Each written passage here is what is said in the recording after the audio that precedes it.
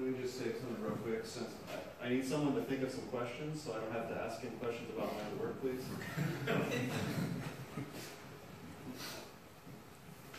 Okay, then, so this is content, and I talk about the background uh, about why why we need the spatial channel covariance the structure and how to estimate this covariance. And then I'll briefly review about the compressive sensing techniques in covariance estimation, such as the SMV and MMV. SMV is the single measurement factor, and MMV is known as the multiple measurement factor transform.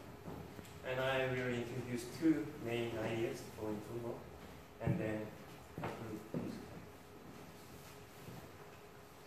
Now let's start with this question. Why we need spatial channel covariance for hybrid MIMO architecture? Uh, this is the hybrid MIMO architecture. And usually the, in this case, in terms of this, the baseband, frequency, and combined, the number of antennas, I mean the number of effective antennas is equal to the number of RF chains. So it is not so large. So in terms of the channel estimation strategy, we can use the per antenna pilot as in the current conventional systems. So it made fusion. So in this case, the base uh, the base station can obtain this instantaneous channel. So we can use the short-term and thermal precoding combined techniques in this base band.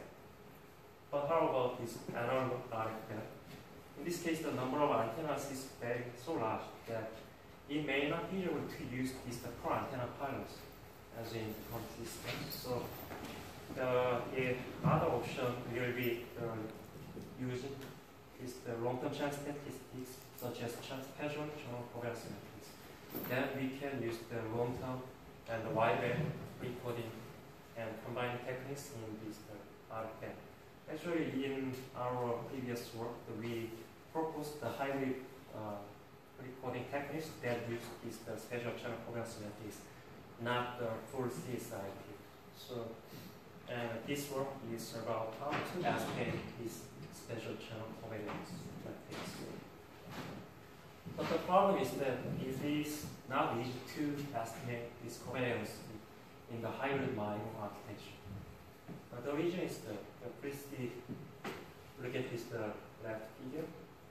In the fully digitalized baseband processing case, the Covariance estimator in the baseband can obtain full measurement from the older antenna. So it is not a challenging task to estimate the covariance. We can use just the simple the sample covariance matrix, and we can calculate this covariance. But in the hybrid case, the covariance estimator in the baseband can only see the low dimensional projections of these y vectors. And the uh, covariance estimator cannot see the mm-hmm. original measurement of these x vectors. And the dimension of this y vector is the m by 1. m is the number of RF chains. And this m is much uh, smaller than the number of antennas n. So how to estimate is the covariance of these x vectors? Just use this the y So it is a challenging task. But in the millimeter systems, we can use the sparsity, I mean the spatial sparsity in millimeter wave. So in this case, we can apply well, compressive, compressive sensing techniques. Now let's uh, briefly review some compressive sensing techniques. And this is called the uh, the basic compressive sensing techniques. And this is the channel we use. The channel is modeled like this. And this L is the number of channel paths. And in the wave channel, we assume that the L is very small. Then the, the signal model is like this one. This Y is the measurement vector. It's N by 1.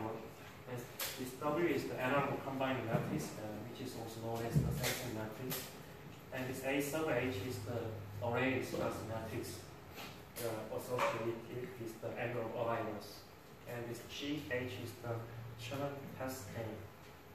And we assume that this L number channel paths is 2 in this figure. And then this the original signal model can be rewritten in the compressive sensing frame. In this case, the A matrix called the dictionary matrix. This which is known to the base station. So the only thing the base station should estimate is, is the G, sparse vector G that has uh, n non-zero elements. And the position of these non-zero elements indicate the angle of arrival information, and uh, this value indicates the channel capacity. Then the problem formulation is like this. So the base station uh, find the, the this G delta to uh, minimize this the zero norm of the G delta. Zero norm the means that the of non-zero elements in the vector. And this problem is hard to start directly, but there are well-known suboptimal solutions, and there are two approaches. One is use the convex relaxation, such as error norm approximation, and the other approach is to use greedy approach, such as the OMP for simulation function. And we will focus on this greedy approach in this one because the, it is um, quite a simpler than this the convex relaxation techniques. And the base station, after the base station, estimate the order of G vectors, then the channel covariance can be calculated from these the G vectors. This is uh, known as the SMV. And now let's look at MM group case, multiple measurement vectors. In this case, the signal model is like this one. This Y and this G is now the matrix vector.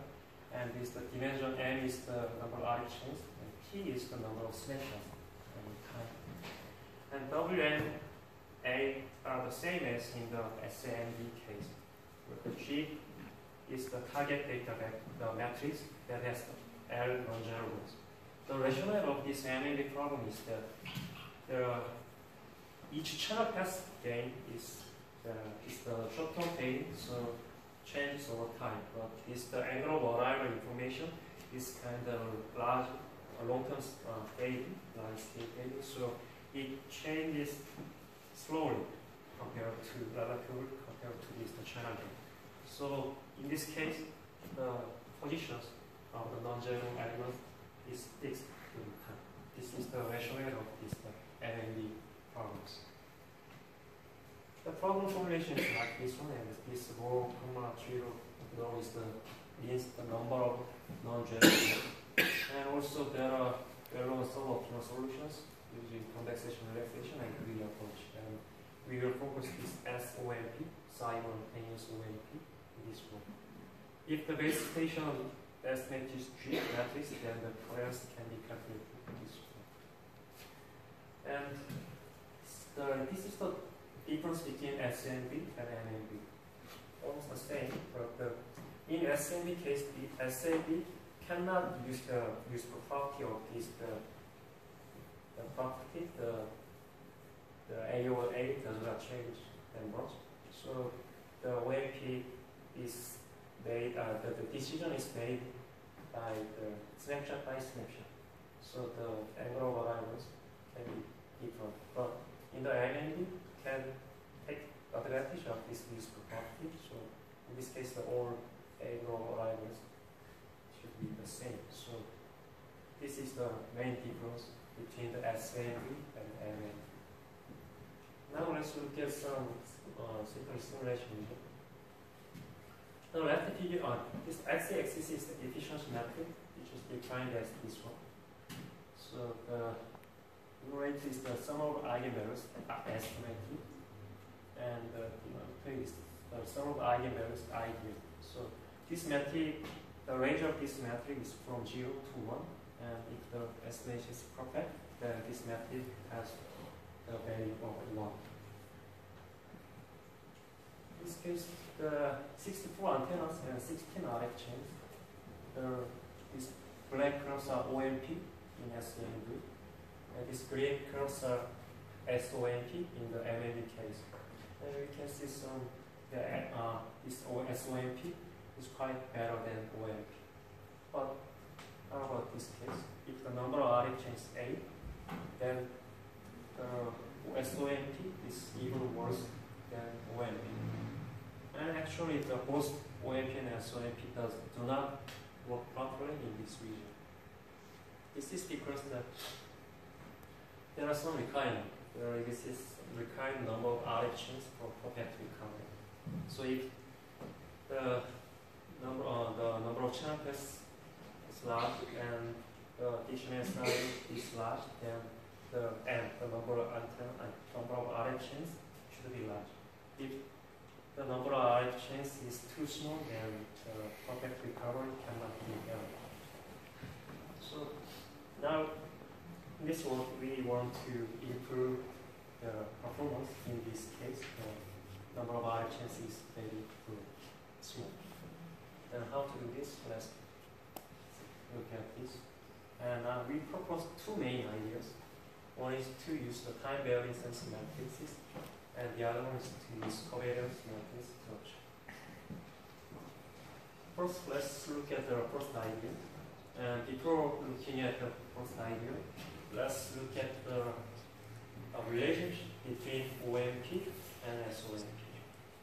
They're almost the same, and actually the the algorithm is almost the same, and the frame, the, the training organization is almost the same. So maybe we can uh, say that SOMP is uh, generalized version of OMP. In the OMP, OMP uses the absolute value of score, but SOMP uses the error norm of vector. Or the minimum uh, minimized L2 vector is replaced by the minimized Frobenius slope of matrix in SOMP. This is the relationship between OMP and SOMP. And please note that uh, this matrix is common during time. Then we change to use the varying sensing matrices. Then we propose the DSOMP, which we call the dynamic simultaneous OMP. And actually it's the almost the same algorithm, but uh, it is a generalized version of SOMP, which is a generalized version of OMP. In this case, the, this error normal vector is replaced by the sum of absolute values of more generalized. And minimized Frobenius normal matrix is replaced by minimized more generalized. This is the this is the first idea. And this is the simulation result. The number of R chains type rule. This blue, uh, this red is the PSO image, of course. And uh, if the number of channel paths is four, then quite good performance. But in the number of chains and number of uh, channel paths is eight, then we can still do better in this case. So how to do this? Let's look at the second idea. The second idea is to use the covariance matrix structure. And in the covariance matrix is the Hermitian matrix. So we can use the property. The, uh, the typical complex sense technique is the vector type complex sense. And let's think about the matrix type complex sense techniques. And matrix, there are two types of matrices. One is the unstructured matrix, and the other one is the structured matrix. In the unstructured matrix case, matrix is sparse element. So we can say this is the element-wise sparse matrix. In this case, we can just simply use the vectorization technique. Then, uh, after vectorization, this the form uh, there exists the equivalent vector form, and there is no loss of information between these uh, as equivalent because it is just an unstructured matrix. So in this case, we can simply use the OMP in this case. But how about the structured matrix case? Example, matrix is sparse element uh, row-wise sparse case. In this case, if we just simply use the vectorization, then there it leads to loss of information because this structure is the lost. So there is no equivalent vector form, but we have SOMP. So in this case, SOMP, we can use SOMP. How about this the sparse diagonal matrix? in the diagonal y sparse matrix. Then we can use the vectorization and uh, this Khatri-Rao product part. Then there is just uh, equivalent vector end. So in this case, we can also use the OMP. Now, let's look at this sparse Hermitian matrix, like this y sparse. This is our interest. In this case, there is no equivalent vector and there's no algorithm. So we propose the COMP, which we call the covariance OMP.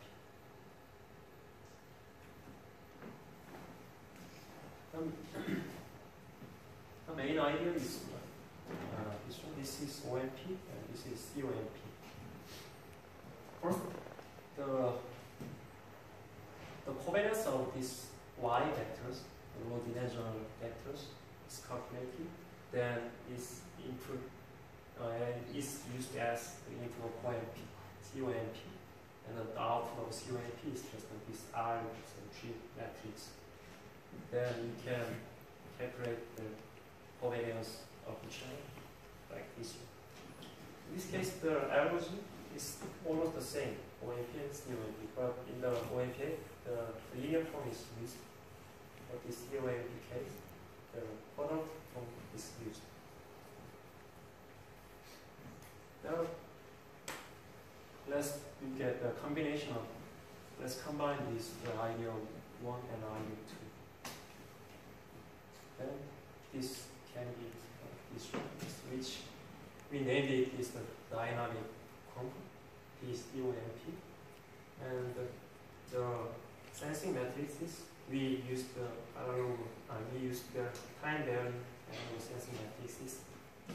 And this concept used, uh, and we also used the covariance matrix structure. In this case, the algorithm is almost the same as the OMP, but we use the, uh, instead of the linear form, some of forms are used this case. And let's see these features. So maybe we can call this problem like MMM, which means the multiple measure of matrices. Because the MMV is MMV is multiple measurement vectors that share the same position of non-zero. But in this case, there, there are multiple measurement matrices that share the same position of non-zero matrices.